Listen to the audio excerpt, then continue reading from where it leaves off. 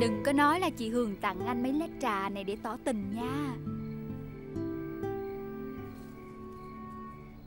Anh thấy em nên viết tiểu thuyết đi.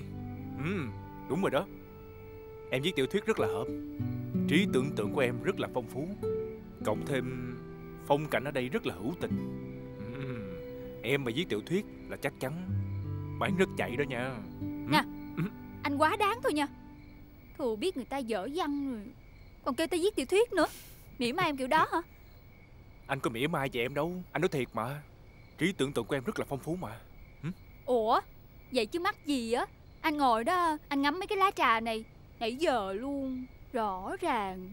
Hôm bữa em thấy hả Hai người đứng sát bên nhau vậy nè. Cười cười nói nói. Tình ơi là tình. Nè nè. Em đừng có mà nói lung tung. Rồi suy nghĩ tầm bậy tầm bạ nha. Anh đang ngồi nghiên cứu loại trà cao sản Đang được trồng thử nghiệm ở xứ mình nè. Ờ Thì cứ cho là vậy đi.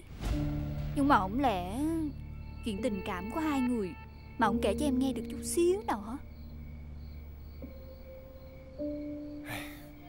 Không có chuyện tình cảm nào ở đây hết. Anh với Hường Chỉ là bạn bè thôi. Chỉ là bạn bè thôi. Ai mà tin chứ? Chính tai em nghe được Hồi bữa nói hả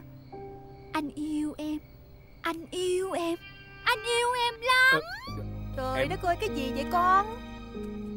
Trời đất ơi yêu đương cái gì mà nói la làng la xóm vậy? Sao con không ra ngoài đường con la luôn đi? Để cho cái nhà này không còn mặt mũi nào nhìn thiên hạ nữa. Nhục quá nhục rồi. Thím ba Tụi con chỉ đang nói giỡn chơi thôi. Có gì đâu mà sợ người ngoài đánh giá hả thím ba Con đừng có bao che nó mà nó dối thím. Không phải nó tâm sự với con là nó đang yêu đương ai Rồi nó la um sùm lên hay sao?